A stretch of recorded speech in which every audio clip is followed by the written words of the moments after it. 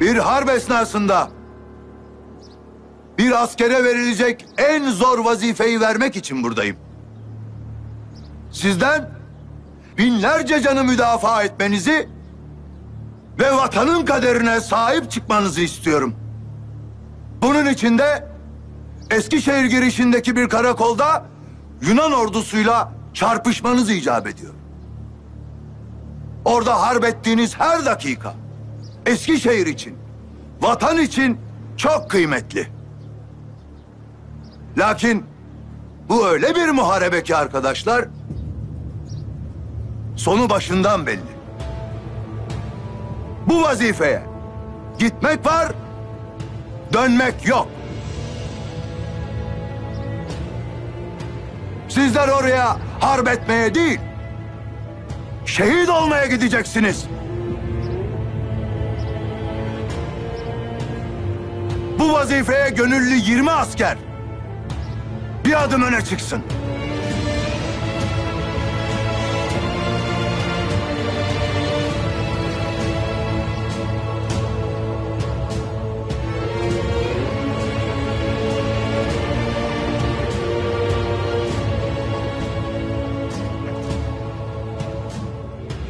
Ben gönüllüyüm paşam.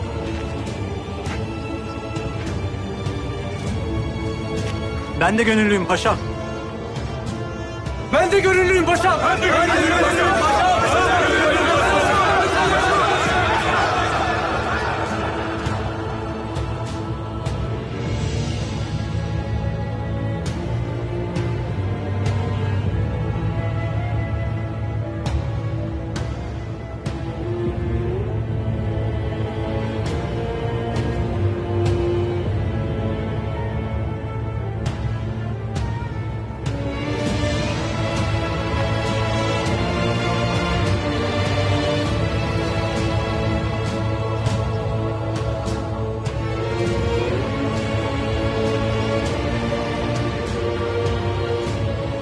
Senin adın nedir asker?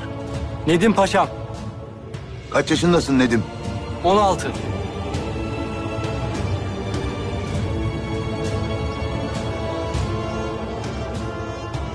Bu vatanı sizin gibi aslanlar müdafaa ettiği müddetçe bugün belki bir şehir kaybedilir.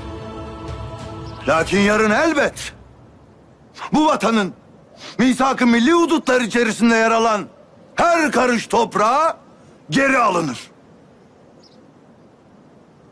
Vatan size minnettardır.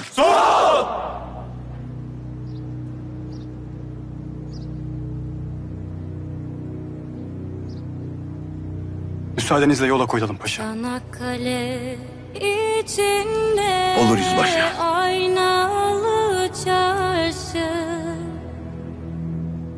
Çanakkale içinde aynalı Gözünüz arkada kalmasın paşa. Bu çocuklar canlarını kanlarını esirgemeden savaşacaklar. Gidiyorum düşmana karşı Of gençliğime Biliyorum yüzbaşı.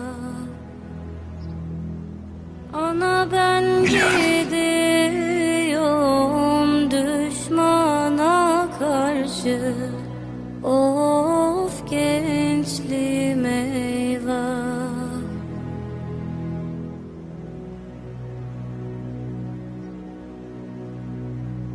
Çanakkale içinde bir uzun selvi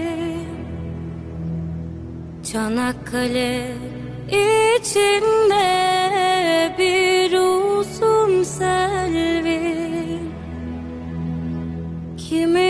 Kimimiz nişanlı, kimimiz evli Of gençliğim eyvah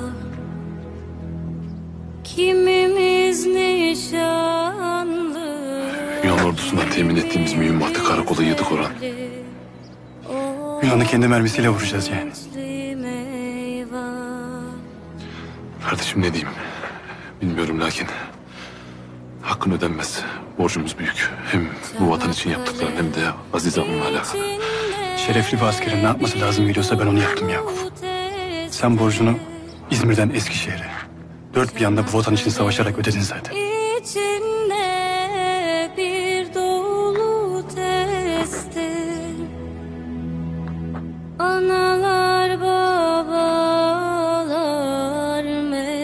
Allah'a ısmarladık.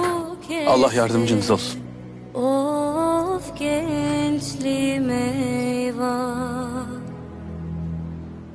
Analar Bizi unutmayın.